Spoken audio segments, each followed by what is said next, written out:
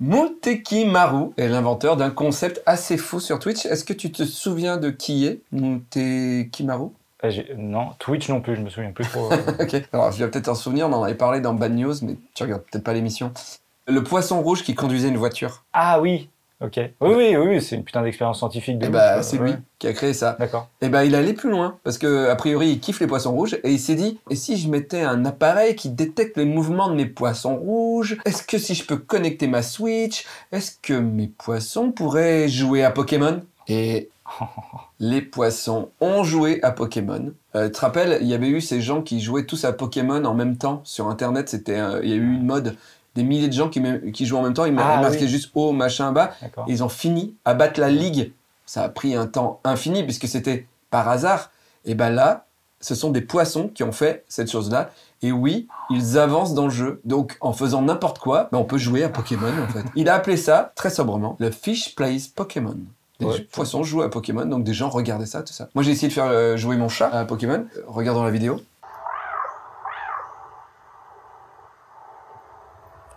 Putain, ils s'en est bien sortis, hein. mieux que ce que je pensais. Mais il a pas fini le jeu. Ouais, mais moi non plus, donc euh, tu vois, je lui relèverai pas ça. hein. Ah ouais, t'as pas jamais fini un Pokémon? Ah, mais jamais de la vie. En Je suis- colère même.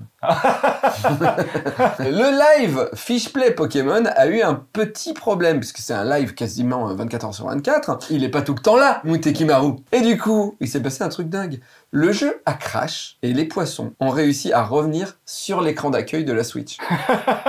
et après un certain temps, à faire n'importe quoi, ils ont réussi à lancer YouTube, Internet. l'eShop. D'accord. Et en continuant à se balader, ils ont affiché les coordonnées bancaires de Mutekimaru. Le chat était en panique totale. Mec, mec, tout le monde voit où, euh, comment acheter des jeux et tout machin. Et c'est pas tout. Ils ont activé le PayPal. Mutekimaru a reçu un email envoyé par PayPal de ses poissons. Bloup, bloup.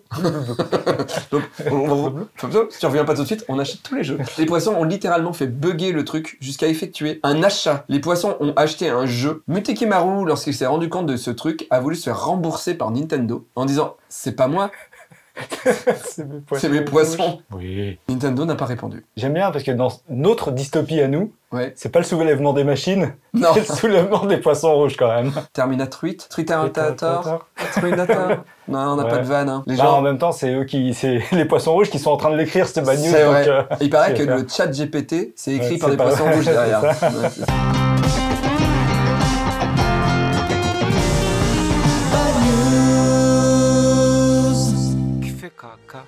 Ariel la petite sirène qui fait caca. Candy qui fait caca. Darvador qui fait caca. Boris Johnson qui fait caca. Ça qui fait ça. Freddie Mercury qui fait caca. Jésus qui fait caca. Spider-Man qui tisse sa toile. Picasso qui fait caca. Donald Trump qui fait caca. Wonder Woman qui fait caca. Charles de Gaulle qui fait caca. Angry Bird qui fait caca. Michael Jackson qui fait caca. Pac-Man qui fait caca. Le Dalai Lama qui fait caca. Mac Knopfler qui fait caca. Vladimir Poutine qui fait caca. Le cri de Munch qui fait caca. Luffy qui fait caca. Groot qui fait sa crotte. Le prince Charles qui fait caca. Tortue géniale qui fait caca. Snoopy qui fait caca. Sarah Palin qui fait caca. Yoda qui fait caca. Titi Raoult, Titi Raoult, Titi Raoult, Titi Raoult, Titi Raoult, Titi Raoult, Titi Raoult, Titi Raoult, Titi Raoult. Merci beaucoup, Ariel. Tu es la cinquième Tortue Ninja. Oh non, T'es Vénus. pas celle-là. Bonjour, mesdames, messieurs, transgenres, sans genre, mauvais genre, badonnettes. C'est Bagnews, Bagnews, c'est l'émission de l'autre actualité. On n'est pas là forcément pour rire, mais on est là pour faire un état des lieux de l'humanité. Et croyez-moi, on est une belle brochette de cons. Je vous rappelle que Bagnews, c'est l'émission qui affirme, et je dis bien qui affirme, ne pas vérifier ses sources. Aujourd'hui, dans l'émission, nous recevons Ariel Bitume. pas, pas, pas que, Pas que- pas que. Ariel Bitume et Monk. Et- et mon- ah oui, Mais tu vas pas tenir toute l'émission. Ah mince, je peux pas faire un truc genre c'est mon frère siamois. si tu peux. Moi je pensais, il avait, je trouve qu'il a une tête de Jérôme, Ouais. mais peut-être qu'il a un corps de Bruno. Mais moi, pas. je vois vraiment Monk. Hein. ouais, c'est vrai qu'il y a un truc de. Monk plus jeune, quoi. Bah, je le laisserai réagir aux bad news du coup, Super. Ouais. Ça va être encore pour me. Compliqué. parce que C'est fatigant quand même. C'est vrai. hein. Donc, euh, Ariel et Adriane, en bref, d'Olivier. En bref. Est-ce que, euh, bah, soit Adriane, soit toi Ariel, vous connaissez le village de Rollet-Régis C'est un village en Angleterre qui a une petite particularité. Cette particularité, c'est une rue. Une rue qui est nommée Bell End. Bell hand. Bell End. Bell hand. Bell, B-E-2-L, End. La main de la cloche. Non, l'équivalent en France, c'est la rue du Gland. Et il y a eu toute une bataille durant une période pour savoir s'il fallait conserver le nom de cette rue ou pas. Parce que quand même, euh, j'habite la rue du Gland, t'as pas envie. Et puis les enfants à l'école, tu viens d'où? La rue du Gland, tous les autres. voilà. Et finalement, le nom a été gardé parce qu'il fait partie de l'histoire de la ville. Moi, je vivrais la rue du Gland, je me battrais pour qu'elle reste la rue du Gland. Moi je serais monk, je me battrais pour garder mon gland. Carrément. Là, c'est plus trop bon. Moi, s'il y avait une rue à Annonay qui devait porter mon nom, je dirais plutôt, je voudrais que ce soit la rue du Gland plutôt que mon nom. Toi, Ariel, tu te battrais pour quel nom de rue? Moi, du coup, bah, ça serait, vu que je l'ai plus, en honneur à. Toi, tu devines ce que Le je veux dire. prépuce Voilà, le prépuce. La rue du en, prépuce en honneur à mon prépuce, là. ouais, ouais. Parce que c'est vrai que tu es juif. En tout cas, je peux le devenir quand je veux. C'est ça qui est pratique. Ouais, je te souhaite pas une nouvelle guerre. Bon, on a les bases. Mais la vraie bad news, c'est maintenant. Les habitants de la ville ont décidé d'organiser une élection. Celle du Bell End de l'année. Donc du le gland de l'année. Et la récompense a été attribuée à cette année à à on n'a pas le droit de dire son nom parce que sinon YouTube te démonétise. Oui. On peut même pas dire le nom de son pays car YouTube te démonétise. Oui. On peut même pas dire le nom du pays qui l'attaque parce que ça le démonétise. C'est Kim Jong-un? Non. Ah, non. C'est comme un plat québécois. Et Ah, le oh. voilà. Les organisateurs ont donc érigé dans la rue de Bell End sa statue. Et on peut dire que c'est un très bel ouvrage, surtout Ah oui. au niveau des cheveux. Ah oui, oui, c'est très très beau. On va pas plus en parler parce qu'on a peur que le robot YouTube, s'il arrive, le, robot YouTube à voir qu'on parle du pays où il y a beaucoup de neige, Ah, le Canada, oui, oui, très euh, bien. voilà. Donc, si vous passez par euh, Relais Régis, vous pourrez admirer cette statue. Et pas que, vous pourrez également lui jeter des œufs disposés devant la statue.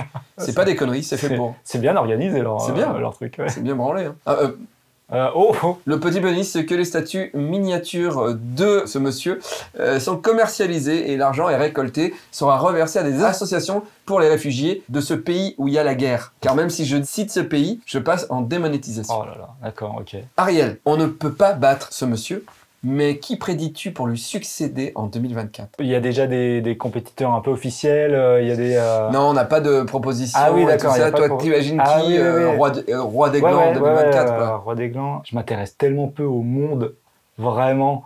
Tu savais que les boulangeries fermaient?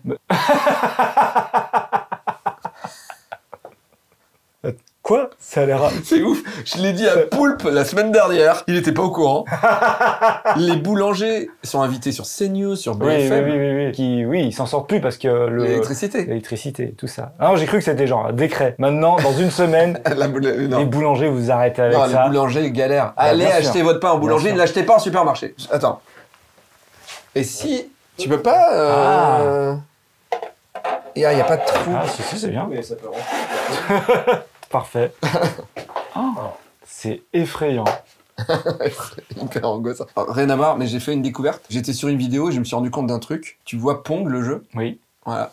Et tu vois la ligne au milieu, Ouais. là. Ouais. Et ben, en reliant les traits, si tu les relis, si tu fais un trait de ces traits, ça fait un i. Oui. Mais s'il y a un i au milieu de Pong, Ça, ça fait. Waouh Mais qu'est-ce que ça va être justement dans un an? Mais bravo un i au milieu de Pong, ça fait point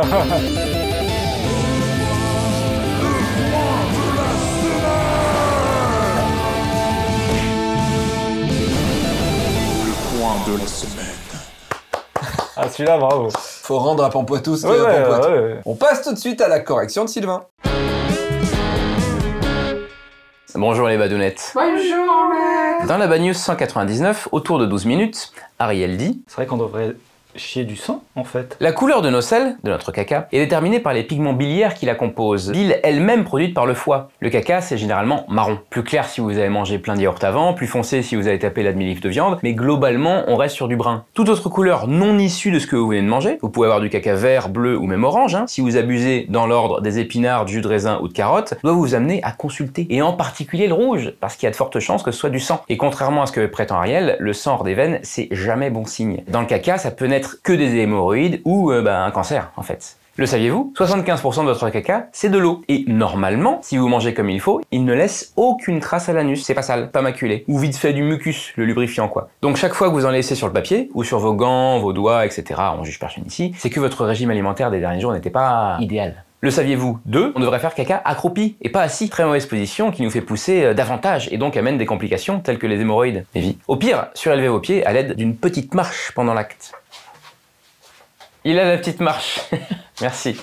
Une petite marche pendant l'acte. Merci, monsieur Mourier. Et d'ailleurs, c'est pareil pour les femmes enceintes. Elles devraient accoucher accroupies, laisser faire la gravité. Et ça, c'est autre chose. Le saviez-vous? 3. Chaque astronaute ayant fait un séjour sur la Lune y a laissé une moyenne de 4 sacs de caca. Et quand vous apercevrez une étoile filante, c'est peut-être encore du caca, expulsé de l'ISS, la Station Spatiale Internationale. Allez, merde à tous les badounettes. Au revoir, maître D'ailleurs, tu sais pourquoi on dit euh, merde à la fin d'une pièce de théâtre? Les cochers, avec leur, leur carrosse qui venaient se mettre devant le, le- la- le théâtre, plus il y avait de merde devant le théâtre, c'est-à-dire plus les chevaux faisaient caca, et plus euh, bah, ça veut dire que la pièce était euh, successful, plus la pièce marchait. Donc euh, merde, c'est- c'était, on, on te souhaitait de la merde devant ton théâtre pour euh, qu'il y ait beaucoup de gens qui soient venus euh, voir. Ah bah, on en apprend tous les jours. Hein. Merci beaucoup, Sylvain. Ariel, euh, parfois, se connecter dans le train, au Wi-Fi par exemple, ou dans un supermarché, ça peut être dangereux pour vos données personnelles. J'avoue. Je le fais. Et en plus, je le fais tout le temps. Tu le fais tout le temps parce que tu sais que tu peux pas te faire hacker, car nous offrons dans Bad News un abonnement NordVPN que tu as pris. Et, oui. Et tu sais pourquoi? Non. Parce que à cause du fait, mais c'est vrai, hein, que je me connecte à des, à des réseaux, le nombre de spams que je reçois, Ouais. enfin, ça me bousille mon truc. euh, Donc du coup, grâce à. NordVPN, tu arrives à... eh ouais, les spams, plus de spam. Plus de spam. Vous pouvez mettre l'appli aussi sur votre téléphone portable. NordVPN crypte le flux des données, même si la destination n'est pas sécurisée, et donc vous êtes protégé. NordVPN vous permet non seulement de délocaliser votre IP, mais aussi de sécuriser votre connexion. Ce qui tombe bien, c'est qu'en dessous de cette vidéo, il y a une promo pour vous abonner avec le code DEVI pour un abonnement de 2 ans. 4 mois sont offerts Adrien Monk a cligné de l'œil. De plaisir. hein.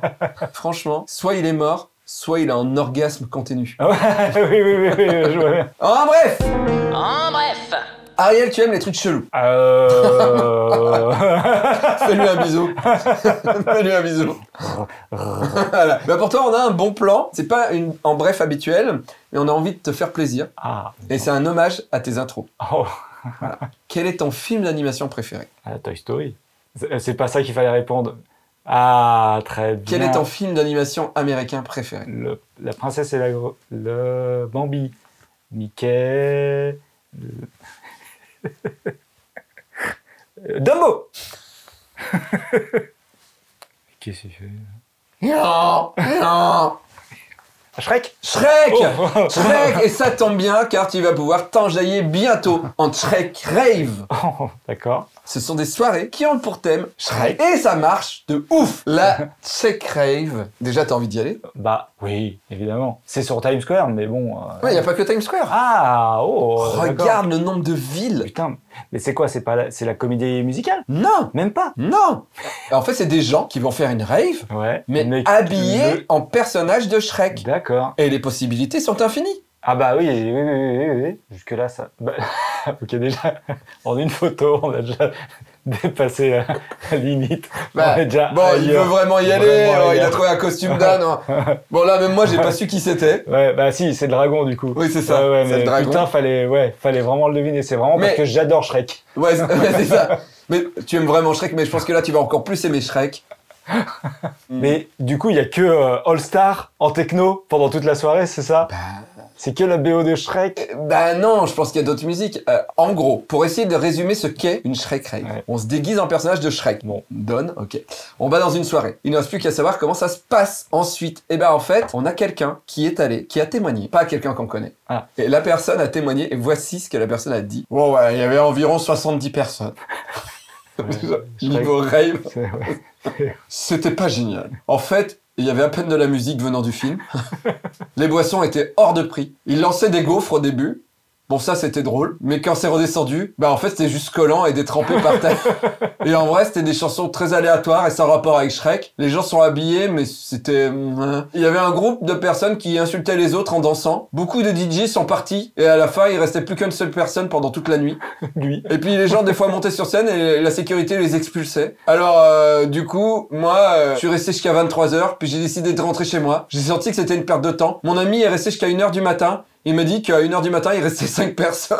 Bon, ils ont pris deux mondes, Shrek, les raves, on les a mis ensemble et ça a fait un truc encore moins bien que les deux réunis, quoi. Exactement. Et du coup, il y a quelqu'un qui s'est dit, c'était vraiment pas une bonne idée. Et si on faisait pareil avec Bob Oh. l'éponge? Non mais, non, mais maintenant on peut tout faire, là, sur les raves. Ça y est, c'est parti. Bientôt les rêves Tortue Ninja. Je vais en faire une intro, hein, euh, ça aussi. Du ça coup, des raves, Ah, bah maintenant oui, il y a oui. une intro là-dessus. Eh bien, croyez ou non, toutes les places ont déjà été vendues pour Toronto pour aller à Bikini Bottom Rave. Imagine, t'es dans le train qui va de Toronto à, Québec et tu croises un mec habillé en Bob l'éponge dans ton train. Ah oui, c'est bon. Avec la SNCF, voyager c'est tout bénef. Nous on dessert tout Paris, la France c'est un peu Paris. Si t'as pas de train dans ton merdier, c'est que t'es chômeur ou fermier. Et les fermiers prennent pas de TGV, c'est QFD. SNCF, c'est tout bénef. Toujours à temps. Sauf souvent, on a une fourchette de prix qui vous offre une garantie. C'est compris entre 20 euros et 3600 euros. Pour nous, le client est roi. À part bien sûr quelques fois, par exemple pour le rembourser. Là, on essaie de le niquer. SNCF, c'est tout bénef. Toujours à temps. Sauf souvent. Merci Pampoitou, je crois. On passe à la Banus Perso de Mac Totoro. Banus perso, oh oh oh. Euh, Adrien euh, va bien? Il respire. Il respire. Du du coup, ça m'étonne. Ah bah les poumons là sont dégagés. hein. Ils sont bien dégagés, ouais. Mac Totoro nous dit Cela remonte à mes années étudiantes. Je devais partir à San Francisco en février pour un mois de cours. Un de mes plus grands rêves, le jour du départ arrive et dans l'avion, 12 heures d'avion, je rencontre un garçon plutôt sympathique. Nous nous entendons bien et nous nous rendons compte que nous suivrons les mêmes cours durant le mois à San Francisco. L'avion atterrit, nous passons la douane, échangeons nos Facebook et chacun va à sa coloc. Le temps passe un peu, je profite de San Francisco et apprends à connaître ce garçon. Il me propose de venir avec lui et son groupe de potes au Golden Gate ce samedi-là, que j'accepte directement. Nous traversons le fameux pont à pied et nous rentrons de l'autre rive en ferry. Le garçon me propose de venir profitant que sa coloc qui dort dans la même pièce que lui est en soirée. Nous faisons ce que nous avons à faire et on s'endort. Pendant la nuit, je sens que quelque chose ne va pas. J'ai de la fièvre j'ai du mal à avaler ma salive. Le matin, je me sens faible et ma gorge se serre de plus en plus. Le garçon, au début, semble préoccupé, mais finalement décide de s'en foutre et me sort d'un air fier. Je vais au Super Bowl, bonne journée. Sa coloc, elle, est restée pour se préparer. Ça y est, je ne peux plus me lever ni avaler. Je me vois baver dessus et je me suis allongé en PLS. La coloc ayant pitié de moi, commande un Uber vers la pharmacie la plus proche. La pharmacienne panique en me voyant. She has to go to the doctor right now! En donnant une carte à la coloc. La coloc m'emmène chez le docteur, le verdict tombe. J'ai un flegmon de la taille d'une balle de golf dans la gorge. Une heure plus tard, j'étais emmené aux urgences dans le coma. Non. Si on attendait une heure de plus, Ah j'étais oui, emmené aux urgences dans le coma. Bref, quatre piqûres dans les fesses, deux d'adrénaline et une d'antidouleur et une d'antibio. Parfait. Une ordonnance, 774 dollars plus tard, la collègue et moi sortons. Elle prend mon téléphone et décide d'appeler mes parents en France. 8 heures de décalage, donc 3 heures du matin en France. Oui, bonjour, c'était pour vous dire que votre fille respire, hein. tout va bien, au revoir. Mon père me rappelle illico en hurlant de panique, je lui réponds en me bavant dessus. Non mais en fait, tout va bien. Je rentre chez moi, le garçon m'appelle histoire d'être classe. Une heure plus tard, il me quitte par message pensant que je lui avais refilé ce même flegmon. Ah, il prend pas le temps de- du doute. Hein, Non, non, non, non, vraiment. Oh, Un mec classe. Ouais. Bah, voilà. Mais bon, il était au Super Bowl aussi, il avait pas le temps. Ce mec-là, j'ai dû le voir par la suite tous les jours pendant trois semaines non-stop. Comment dire C'était pas la joie. Putain. Je suis rentré de San Francisco et au mois de septembre de la même année, je pars en échange à Dublin. Et devinez qui vit à Dublin? Le flegmon. Ce mec. Il me propose de se revoir et s'excuse platement. Nous nous revoyons une première fois, je tombe malade. Et je mets cela sur le dos du temps, à Dublin. Nous nous revoyons une seconde fois, je retombe malade, mais au niveau des parties féminines. Je mets ça sur les antibiotiques que j'ai pris la semaine précédente. Nous nous revoyons une troisième fois, nous faisons ce que nous avons à faire, et il me dit fièrement, ça fait une semaine que je ne me suis rien lavé, et je trouve que ça se crame même pas, non? Ça se crame même pas. Qu'il ait du petit fromage Oui, de bite oui, entre oui, le gland oui. et la peau, ou euh, une odeur, une un odeur petit un truc petit de, tu sais, ça sent un peu la- le cornflakes. Ah putain. Ah, on n'a pas les mêmes petits déjeuners, toi et moi. Non. J'aimerais fait tout le fil et comprend ce qui s'est passé et commence à paniquer. Je pars rapidement. Quelques jours plus tard, j'ai de la fièvre. Je n'arrête pas d'aller aux toilettes et je pisse du sang en grande quantité. Non, ce n'était pas mes règles. Le verdict tombe, infection des reins. Quelques jours plus tard, il me propose de se revoir et je lui explique que je tombe continuellement malade dès que nous avons des rapports et que je préfère ne plus le voir pour des raisons d'ordre vital. Vexé, il me bloque. Depuis, nous l'appelons avec mes amis la bite maudite. Elle rajoute Je préfère vous donner encore deux trois éléments de compréhension. 1. Nos rapports ont toujours été protégés. 2. Je n'ai jamais, car j'ai un blocage dû à une histoire passée violente, au grand jamais réalisé un acte de sexe oral avec cet homme. 3. Lors de ces périodes, je ne voyais que cet homme. Finalité, une histoire qui a des airs de comédie romantique qui se termine parfois par des frais bien trop élevés remboursés par la mutuelle. Donc, ce qu'elle sous-entend, c'est que c'est peut-être pas parce qu'il était sale, c'est peut-être que la destinée, ou c'était parce qu'il était sale. Il la faisait mourir à petit feu. genre, Mourir à petite queue? Ah oui, euh, oui. Sale. On passe à la bad news du jour? Oui, bien sûr. Allez, Adrien, Ariel, c'est parti. Bad news du jour. Je te dérange pas longtemps, je suis au Leclerc de Yvetot, pas très loin de Rouen. le 4 mars, ce samedi-là, je suis en dédicace pour Dragon Ball, ma nouvelle bande dessinée. C'est coécrit avec Pampoitou. C'est au Leclerc de Yvetot, pas loin de Rouen. le 4 mars. Je vous rappelle que nous avons un Patreon, un Tipeee, euh, voilà, et que nous avons euh, aussi euh, des mugs superbes, des t-shirts, voilà, tout ça. Euh, je vous rappelle aussi que ce soir, rendez-vous à 20h30 pour Bad Live épisode 3. Nous ne serons pas IRL, IRL, nous serons tous chacun chez nous, mais ça sera quand même un Bad Live avec en invité Sophie Lambda et Pampoitou et Rob. Retrouvez l'épisode 1 et 2 de Bad Live sur Apple Podcast. Abonnez-vous, c'est hyper important pour pas louper les sorties. Et c'est aussi en écoute sur Spotify et Deezer. Vous verrez, c'est une heure de franche rigolade. Abonnez-vous, il y a des nouvelles bouches à nourrir. Moi, je peux. Si, si tu veux, on va chercher un yaourt, on essaie de le nourrir, il va se passer un truc. Je vous rappelle aussi que nous avons une nouvelle chaîne qui s'appelle Culture Z avec d'autres émissions. Voilà, donc abonnez-vous s'il vous plaît si vous aimez les jouets. C'est cool. Voici maintenant un acteur porno Allez. Devenu une légende pour toi, Ariel. Oui. Cette bad news est extraite du livre La virginité passée 30 ans, qui est un manga qu'on m'a offert lorsque j'étais en dédicace, qui est une super euh, source pour bad news. Et quand j'ai découvert cette histoire, je me suis dit, ouh, ça faut garder pour Ariel. On va parler d'Ichiro Suzuka. Ah, presque Oda. C'était un japonais de 29 ans qui rêvait de devenir une icône et de perdre sa virginité en devenant une icône, en profiter pour perdre sa virginité. Son but n'était pas lié à une passion qu'il avait, non, il voulait juste être connu. Tu vois, euh, Ouais. bah, devenir chanteur, Ah ouais, acteur, bref, être une star, quoi. Il se disait, à 29 ans, faut que je sois une rosta. Vu que je suis vierge, si en plus je peux niquer un peu, L'un irait avec l'autre, ce serait pas mal. Exactement. Sauf que il n'y arrive pas à devenir connu parce qu'il n'a pas forcément de talent. Du coup, il réfléchit et il se dit j'ai qu'à devenir acteur porno. Acteur porno, je deviens connu et je, Et en plus, normalement, je fais une pierre de coups. a priori, oui. Il s'est présenté à des productions pornographiques qui cherchaient des amateurs. Arrive le jour de son premier tournage. Il se dit yes je vais enfin coucher avec une meuf. Donc ça veut dire que tu vas perdre ta virginité. Ouais, euh, Sur un- ouais, studio, un plateau, Voilà, euh, une caméra. euh, Moi, je me demanderais combien de temps je tiens. Mais bon, Mais après, c'est le scénario de beaucoup de films porno. hein. Mais en Oui, général, c'est la fille qui perd sa. c'est vrai. Et en général, c'est faux. Aussi. Là, on est sur une vraie histoire. Il arrive, on lui donne un rôle. Son premier rôle, c'est journaliste qui interviewe d'accord. l'actrice principale. Et peu à peu, l'interview tourne court. Dérape, dérape. et Il y a un rapport sexuel. Donc la prise commence. Sauf qu'au moment où ça doit déraper, la comédienne fait Ah non, ah non, je peux pas coucher avec lui. Il n'y a pas moyen. Ça ne se fera pas. Ah putain, mais non. Et ce schéma va se répéter. Il va se faire rembarrer sur tous les films parce que les nanas le trouvent trop laid pour avoir un rapport avec lui.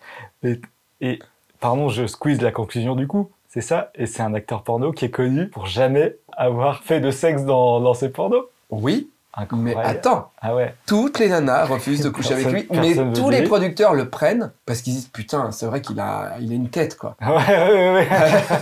mais bon, même si c'est pas la tête qui. Mais oui, ça se comprend. C'est ça. un peu. En, en général, dans le cinéma français, les gueules, on préfère ça pour les seconds rôles.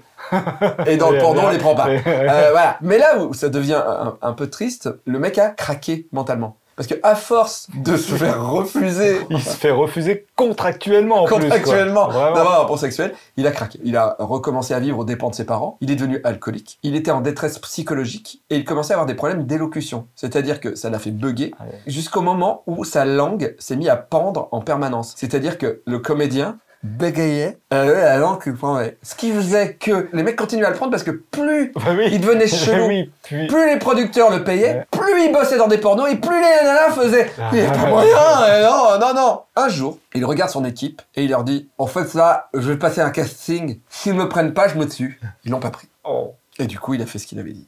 Oh putain. Ce mec voulait juste être connu et c'est grâce au drame de sa vie qu'il commence aujourd'hui un peu à être connu car cette histoire, bah, on peut la découvrir dans un manga, La virginité passé 30 ans, d'Atsuhiko Nakamura et euh, Bargain Sakuraichi. Je sens que tu vas aller très vite voir sa tête. Ah, Oh oui. J'allais dire voir ces films, mais non. bah si, peut-être euh, on a, euh, Ouais. peut-être qu'il y a des intros. Ah oui, vous savez non, pas. en fait, j'ai que les plans de sa tête? Après, c'est pas lui, tout le, tout le reste. Merci beaucoup Ariel Oh, bah, et. Adriane d'avoir participé à cette émission. On se retrouve la semaine prochaine, mardi prochain à 17h45 avec en invité Sylvain. Voilà, toi tu reviens dans 15 jours. Ok, Euh, voilà. si vous voulez. Et ce soir, nous, ne loupez pas Bad Live en live à 20h30 sur YouTube et Twitch. Voilà, des bisous, ciao.